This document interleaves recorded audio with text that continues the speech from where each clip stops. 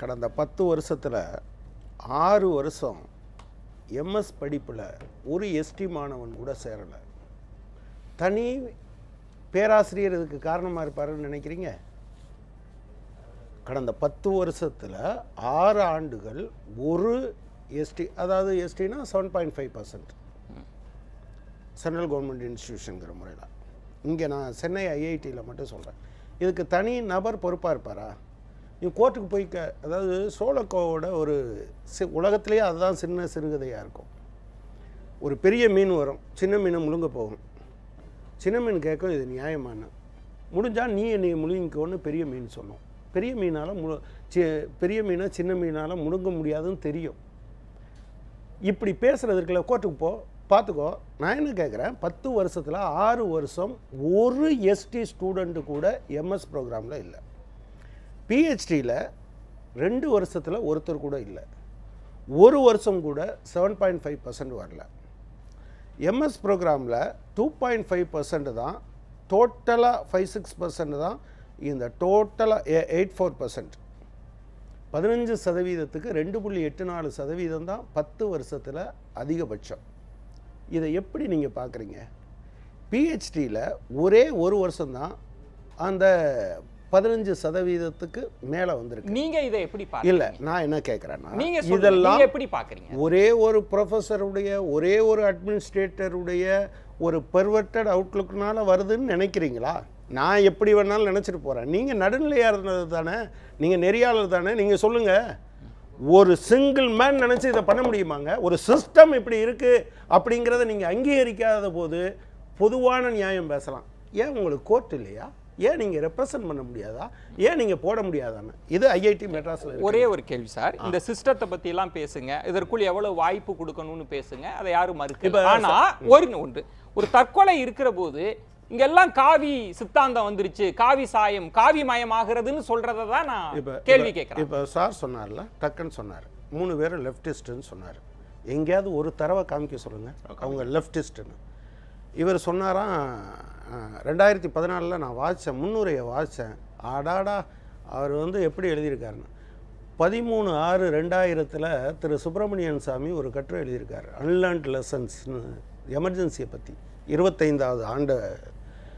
RSS தலைவர்கள் மாறி மாறி மன்னிப்பு கடிதம் எழுதினாங்க யார் யாருக்குன்னு எழுதியிருக்காரு. அதை வச்சுக்கிட்டு இன்றைக்கி சுப்பிரமணிய சாமி எனவே அவர் ஆர்எஸ்எஸ்க்கு எதிரானவர் நீங்கள் பேசுவீங்களா? ப்ராப்ளம் என்ன?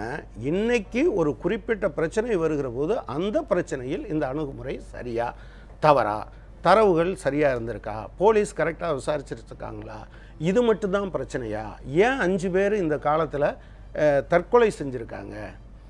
இதில் இதில் வேற சில பிரச்சனைகளும் இருக்குது உளவியல் ரீதியான பிரச்சனையா ஆ, பார்க்கல இருக்கலாம் இருக்கலாம் இருக்கலாம். ஆனால் நீங்கள் இதோட சேர்த்து பார்க்கணும்னு நான் சொல்ல விரும்புகிறேன் நீங்கள் கூட கேட்டீங்க தமிழ்நாட்டில் இப்படி டிஸ்கிரிமினேஷன் இல்லையான்னு. இந்த டிஸ்கிரிமினேஷனை எதிர்கொள்வதற்கான ஒரு நியூமரிக்கல் ஸ்ட்ரென்த்து இருக்குது அதனால் அது வந்து டிஸ்கிரிமினேஷன் இருப்பதும் டிஸ்கிரிமினேஷனுக்கு எதிராக அந்த ஒதுக்குதலுக்கோ ஒடுக்குதலுக்கோ எதிரான போராட்டங்களும் தொடர்ச்சியாக நடக்குது. நீங்கள் இதை ஈஸியாக ஆறு வருஷம் எதுவுமே இல்லைங்கிறது ஈஸியாக எப்படி நீங்கள் கடந்து போக முடியுது? கோர்ட்டுக்கு போங்கன்னு ஒத்த வார்த்தையில்? அது தனிநபர்களுடைய பிரச்சனைன்னு நீங்கள் சொல்லுவீங்களா? எனவே அல்லது இந்த தற்கொலை செய்து கொள்கிறவர்கள் யார் என்று நீங்கள் பார்க்கணுமா இல்லையா? இதோடெல்லாம் சேர்ந்தது தானே அது வருது. ஒரு இ- இந்த பெண்ணிடம் இருந்து வேற எந்த பிரச்சனையும் இல்லை. இதை தாண்டி சில விஷயங்கள் இருக்கு. மாணவர்களை இன்னைக்கு இருக்க கல்வி முறை முழுக்க முழுக்க வணிகமயமான பிறகு நீங்கள் வந்து லிட்ரேச்சரோ ஹிஸ்ட்ரியோ சொல்லி கொடுக்கறது இல்லை படிக்க வைக்கிறது இல்லை அது ரெண்டும் தான் மனிதனாக்குவது. மற்றதெல்லாம் உங்களை வந்து டெக்னோக்ராட்டாக மாற்றும் பியூரோக்ராட்டாக மாற்றும் ஒரு பெரிய சயின்டிஸ்டாக மாற்றும் எல்லாத்தையும் கொடுக்கும். ஆனால் மனிதர்களாக வாழ வைப்பது வந்து லிட்ரேச்சரும் ஹிஸ்ட்ரியும் அதை நீங்கள் வணிகமயமான இந்த கல்வி சூழல் வந்து கொஞ்சம் கொஞ்சமாக இதிலிருந்து தள்ளுது. நம்முடைய சமூகம். சி கேம்பஸுக்குள்ளே கவுன்சிலர்ஸ் இருக்காங்க பேசணும். பேசுகிறதுக்கான வாய்ப்புகள் இல்லை. குடும்பத்தோடு பேசியிருக்க முடியும். உரையாடுகிற வாய்ப்பை இன்றைக்கி இருக்கக்கூடிய இந்த வணிகச் சூழல் இல்லாமல் மாற்றுது நீங்கள் வந்து ஃப்ரெண்ட்ஸோடு பேசணும். அந்த வளாகத்தில் இருக்கக்கூடிய சூழல் உங்களுக்கு சரியாக இல்லை. இப்படி எல்லாம் சேர்ந்து வருகிறது என்று பார்ப்பது ஒன்று.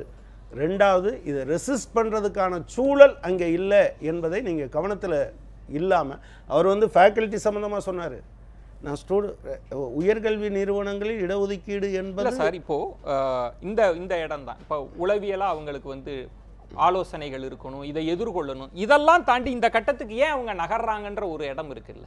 அதை நீங்க எப்படி புரிஞ்சுக்கிறீங்கன்றதுல இருந்து தான் நான். கடந்த காலங்களை விட சமூகம் முழுக்க இந்த சித்தாந்தம் வலதுசாரி சித்தாந்தம் முள்ளுக்கு வந்த பிறகு அது வந்து உயர்ந்தவன் தாழ்ந்தவன் என்பதை ஒவ்வொருத்தரிடமும் விதைக்கிறது. இது வேணா நீங்கள் ஐஐடியில் இருக்கக்கூடிய எல்லா என்ன சொல்றது பார்ப்பன மேலாதிக்கத்தை செலுத்தக்கூடிய அத்தனை பேரையும் வீட்டுக்கு அனுப்பிடுங்க. திருப்பி நீங்கள் புதுசாக ரெக்ரூட்மெண்ட் பண்ணுங்க. அதுதான் உங்களுக்கு சொல்யூஷன் உங்களுக்கு தோணுச்சுன்னா செய்யுங்க. எனக்கு வந்து இதெல்லாம் சிக்கலே கிடையாது. உங்களுக்கு என்ன முழிங்கோ அவ்வளோதானே ரொம்ப எளிமையான ஒரு விஷயம் சார். என்ன கடகராஜ் சார் அவ- வெங்கடேஷ் சார் அவர் ஒரு ஆற்றாமையிலிருந்து பேசுறாரு. அவர் எங்கன்னா இப்ப எல்லாத்தையும் நீங்க டெர்மினேட் பண்ணீங்க. புதுசா நீங்க வேணாண்டு அந்த ஒரு ஆற்றாமை குரல் அங்கு வருது. அது முடியாதுங்கிறது? முடியாது. முடியாதுன்னு இல்ல சார். நீங்க என்ன சொல்றீங்க. ரொம்ப எளிமையான அம்சம் என்னன்னா இல்ல சார் நீங்க பேசுங்க சார். நீங்க இல்ல இந்த குரலையும் திரு கனகராஜ் இது ஒரு ஆற்றாமையின் வெளிப்பாடு தானே. நம்ம தொடர்ச்சியாக குறிவைத்து ஒரு மேலாதிக்கம்னு சொல் அந்த இடத்துல இருந்தா நீங்க நூறு வருஷமா இருநூறு வருஷமா இல்லாத நீங்க ரிசர்வேஷன் கொண்டு வந்து அதுக்கு ஒரு போராட்டம் நடத்தி அதுல நாலு கவர்மெண்ட் காணாம போய்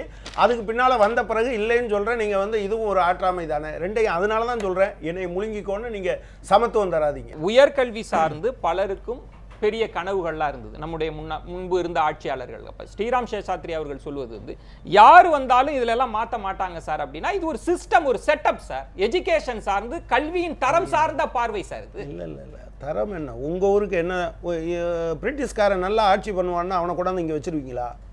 உங்களை விட பெட்டராக இருக்கான். நேரத்துக்கு யார் கேட்டாலும் சொல்லுவாங்க என்ன வெள்ளைக்கார மாதிரி டயத்துக்கு வந்துட்டாங்கன்னு. அவன் ரொம்ப இதாக இருப்பான். வே- இங்கே இருந்துடலாமா சார் நீங்கள் அதை சொல்லுங்கள் நீங்கள் வந்து இந்த அரசாங்கம் மாற்றணும்னு சொல்ல அரசியல் சட்டத்தில் இப்போ என்ன இருக்கோ அதை கடைப்பிடிக்கணுங்கிறது தான் இந்த வயலேஷன் வரும்போது அதை சீரியஸாக நீங்கள் வந்து தத்தாத்ரேயா எப்படி ஹைதராபாத் சென்ட்ரல் யூனிவர்சிட்டியில் தலையிட்டாருங்கிறது தான் ஸோ தலையிட்டாருன்னு வரும். நிறையா இண்டிவிஜுவலாக பல்வேறு நிறுவனங்களில் இருந்த சயின்டிஸ்ட்லாம் சொல்லுவாங்க. அல்டிமேட்டாக வழக்கை பதிவு செய்வதும் தீர்ப்பு சொல்வதும் மான இடங்களில் யார் இருக்காங்கங்கிறதோடும் சேர்ந்ததாக இது இருக்குது இது நான் வந்து ஒரு ஜாதி குறித்தான பிரச்சனைன்னு பார்க்கல. இந்த இந்த ஏற்ற தாழ்வை ஏற்றுக்கொள்ளுகிற இது இதுதான் சரி என்று நினைக்கிற ஒரு தத்துவம் இதை எல்லாத்தையும் இப்படி பண்ணுதுங்கிறத நீங்கள் எப்படி அதாவது இந்த ஸ்ட்ரெஸ் எல்லாம் தாழ்த்தப்பட்ட மாணவர்களுக்கு தான் வருமா? இந்த ஸ்ட்ரெஸ் முழுவதும் பிற்படுத்தப்பட்ட மாணவர்களுக்கு மட்டும்தான் வருமா? அப்படின்னா நீங்கள் இதில் ஒன்று இருக்குது பார்த்தீங்களா இது ஒரு மெரிட்டு அவங்களால தான் ஒருவேளை இதை தாங்க முடியும் இந்த ஸ்ட்ரெஸ்ஸை தாங்க முடியலையோ? அவர்களால தான் இந்த ஸ்ட்ரெஸ்ஸை நிச்சயமா அவன் இதை விட பெட்டரா ஸ்ட்ரெஸ்ஸா அவன் இந்த அம்மா பேசியிருக்காங்கல்ல நீங்க அது அதுல இந்த ஸ்ட்ரெஸ் எல்லாம் தாங்கி வந்திருக்காங்கன்னு உங்களுக்கு தெரியலையா? அந்த அம்மா சொல்றாங்கல்ல நீங்க பனாரஸ் போகலாம் இல்ல கும்பல் வன்முறை நடக்கும். வேண்டாம். இல்ல ஃப்ளைட்டில் தானே போவ. இல்ல ரோட்ல போக வேண்டியதும் இருக்கலாம். இதெல்லாம் பேசுறாங்க தானே? இல்ல அத நீங்க முஸ்லீம் சமூகத்துக்கு நீங்க இல்ல, அவங்க பேசுனதுல நிறைய நம்மலாம் பேசுறத விட அதிகமா பேசியிருக்காங்க. அந்த அது என்னது ஹிஜாப்.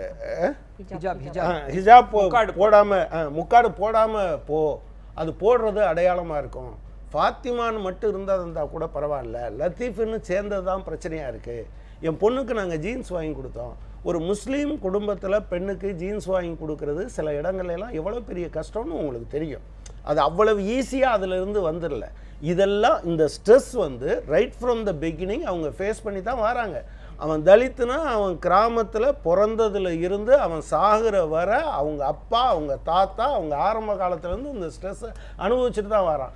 இன்னும் பெட்டராக மேனேஜ் பண்ணிட்டு வரான். நீங்கள் புரிஞ்சுக்கங்க. அடக்குமுறையை ஏற்றுக்கொண்டு படிக்க அவங்க தாயாரினுடைய பேட்டி. நான் மீண்டும் சொல்றேன் அவங்க உணர்வுகளை உணர்ச்சிகளை நம்ம அதை வந்து விவாத பொருளா மாத்துறதுல எனக்கு விருப்பமும் இல்லை. ஆனா என்னுடைய கேள்வி அதற்குள்ள ஒரு அரசியல் இருக்குல்ல? அதற்குள்ள ஒரு அரசு அவங்களுக்கு ஒரு அரசியல் பார்வை தத்துவ பார்வை? இல்லாத ஒன்றை சொல்லுங்க. அரசியல் இல்லாத ஒன்றை சொல்லுங்க. அரசியல் இல்லாத ஒரு விஷயத்தை நீங்க சொல்லுங்க. எல்லாவற்றிலும் அரசியல் இருக்கிறது. நீங்க அரசியல் இல்லை என்று சொல்வதே ஒரு அதுதான் மிகப்பெரிய அரசியல். அரசியல் இல்லைன்னு சொல்றது ஒடுக்குமுறையையும் நடப்பு நிலையையும் ஆதரித்து பாதுகாக்கிறதுக்கு பேர் தான் இதெல்லாம் அரசியலே பேசக்கூடாதுங்க.